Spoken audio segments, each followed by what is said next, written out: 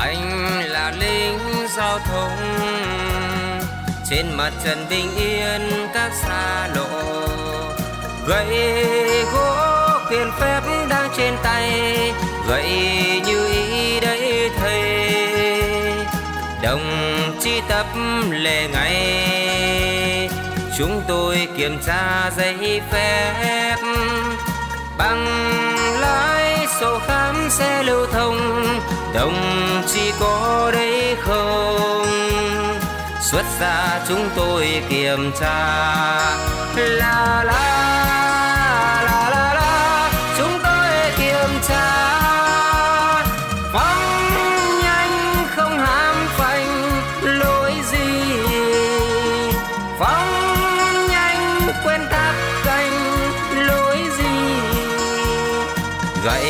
tôi vậy mà vẫn phi như hư thế không được đâu.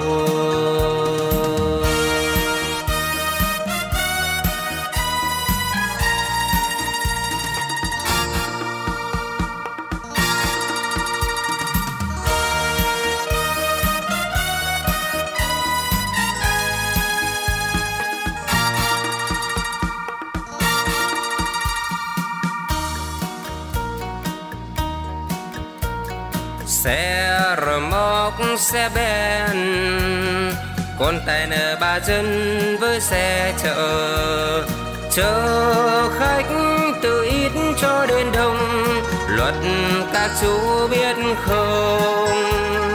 Hợp tác giữ đường thông, chúng ta thường tôn quy tắc. Dọc khắp từ bắc vô trong nam trạm có lính đối phiên lắm hôm vỡ ngày thằng điên vào ga là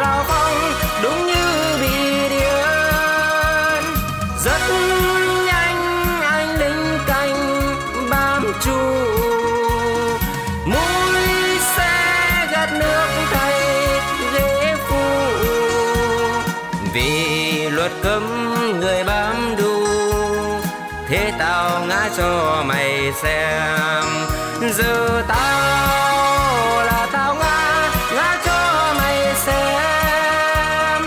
Mấy tên tài xế kia đừng lại mấy tên tài xế kia khốn nạn.